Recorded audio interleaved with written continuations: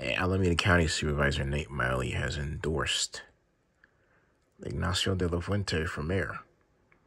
He says Ignacio de la Fuente is my top choice for Oakland mayor based on his experience and continues down here